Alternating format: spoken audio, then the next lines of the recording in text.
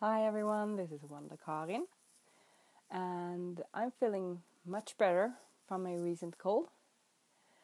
And today I had two questions. Uh, I was asked if there was any material available online about uh, ASMR and uh, the possibility of using it in LARP.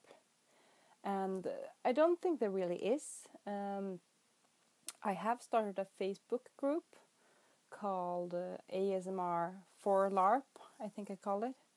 Otherwise, I'll, I'll get back to you on that. Um, but other than that, I think I'll, I'll have to write something up, I guess. Uh, considering that I did that uh, workshop at Knudepunkt 2015 and that I'm uh, doing two workshops on the Swedish LARP uh, convention Prolog.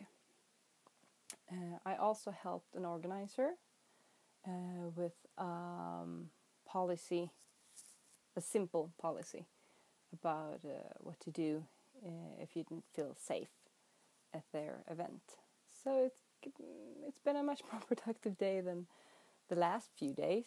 Um, you know, and I even got out of the house, so that's a big plus. But I guess I'll be seeing you guys around and I'll probably get back to you after Prolog. And Prolog is uh, the coming weekend. So we'll see what happens there. I really, really enjoy Prolog. I've even uh, called it my happy place from now, now and then. So I'm looking forward to that. Bye!